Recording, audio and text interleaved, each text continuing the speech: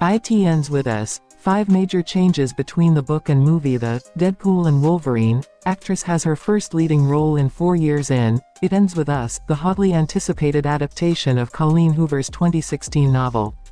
Like the book, the movie follows a flower shop owner named Lily Blossom Bloom Lively who falls in love with a dashing neurosurgeon named Ryle Kincaid Justin Baldoni and reconnects with her stoic childhood sweetheart, Atlas Corrigan Brandon Sklenar.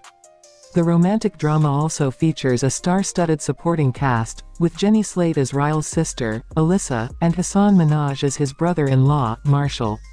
Directed by Baldoni, the heart-wrenching film is a largely faithful retelling of Hoover's book, grappling with the insidious nature of domestic violence and cycles of abuse across generations. Here are some of the biggest changes from page to screen.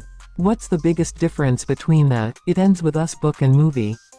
Perhaps the most significant change between the book and movie is in how Lily perceives Ryle's abuse. Through a series of quick cuts and deceptive camera angles, the film plays on Lily's uncertainties. Did Ryle actually mean to strike her after burning his hand, or was that just an accident? Did Lily merely slip on the stairs during an argument, or did Ryle deliberately push her? Lily is continually in denial until the movie's final third, when a disturbing montage shows her husband's assaults as they really happened. But in the book, Ryle's misconduct is not a gradual realization for Lily. Instead, she calls him out after each incident and warns him that she'll leave the next time he abuses her. She first tries to leave him after her violent fall, but then chooses to forgive Ryle, who's traumatized by his brother's death. She reasons there is good in him, and that he can still change.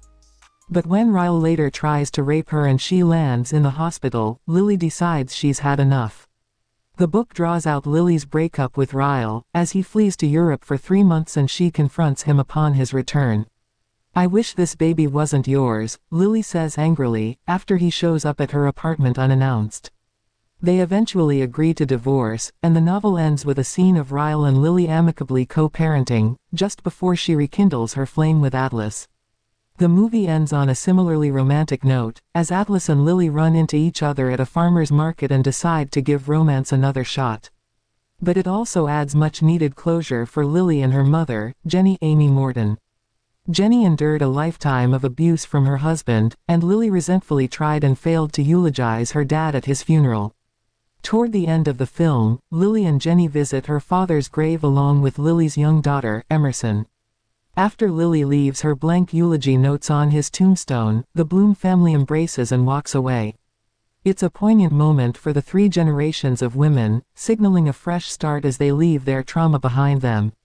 Does Ellen DeGeneres make a cameo in It Ends With Us? If you haven't read It Ends With Us, you could never imagine what a huge role Ellen DeGeneres plays in the story. Yes, really. In the book, young Lily recounts her entire childhood in a series of journal entries addressed to the former daytime talk show host. Lily and Atlas also remind each other to just keep swimming, a hopeful mantra by DeGeneres, Finding Nemo, character, Dory. As adults, Atlas even gifts Lily a signed copy of DeGeneres' memoir, Seriously, I'm kidding. Wisely, the movie does away with the whole DeGeneres conceit. The comedian's reputation has been sullied since It Ends With Us was published in 2016, and her talk show fizzled out amid scandal in 2022. Instead, Lily and Atlas high school courtship is now told through a series of straightforward flashbacks. Although, there is still one DeGeneres Easter egg in the film, the first time Atlas comes over to Lily's house, she's on the couch watching The Ellen DeGeneres Show. Which book characters don't appear in the movie? Streamlining the story from page to screen, a few memorable characters have been cut along the way. The film acts as Devon, Lily's gay BFF who makes Ryle jealous by pretending to be her boyfriend. There is also no Lucy, Lily's former roommate who winds up working at her flower shop.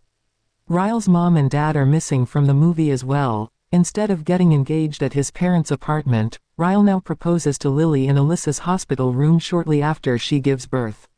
How Old Are Lily Blake Lively and Ryle Justin Baldoni. Fans of It Ends With Us were initially miffed by Lively's casting. After all, Lily is described as having red hair and fair skin in the book, whereas Lively is unequivocally blonde, a fact that the movie hardly disguises. Also, Lily is 23 and Ryle is 30 when the novel starts, while in the movie, both characters are in their mid-30s. Baldoni and Hoover recently defended aging up the characters, saying it would naturally take a long time for Ryle to become a prominent board-certified neurosurgeon. They also wanted Lily to be someone with life experience, who is comfortable and confident in herself by the time she meets Ryle. I've heard people say, why wouldn't you just leave? Why would she stay? Baldoni told Variety magazine last month. We know that abuse happens to women of all ages. But it also happens to powerful women. It happens to very strong women. It happens to affluent women.